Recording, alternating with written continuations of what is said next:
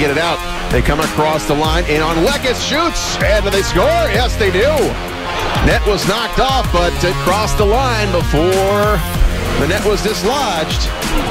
And the Nailers take an early 1-0 lead. Drops it back, Szydlowski right side, sends it back in the slot. Rister score! We are tied. Spencer Smallman rocks the twine, and the Komets have tied it up.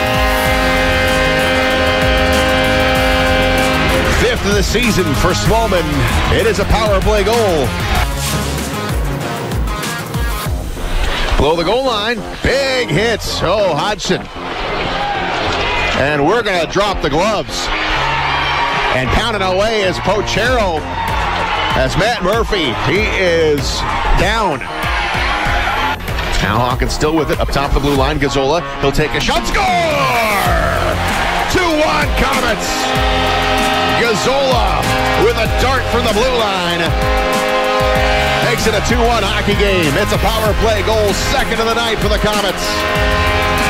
And let's see if this was tipped. I hope it was. And here's a one-timer by Sylvester. Save made by Leckis. In front, they score right as the period or the penalty expired. And now Smallman in the slot. Here's a shot. It's blocked. In front, score! Tied up. No more. Anthony Petruzzelli. 3-2 Komets. The fifth of the season. Uh, nothing there. Back up. Here's a drive. Score! Gallipo.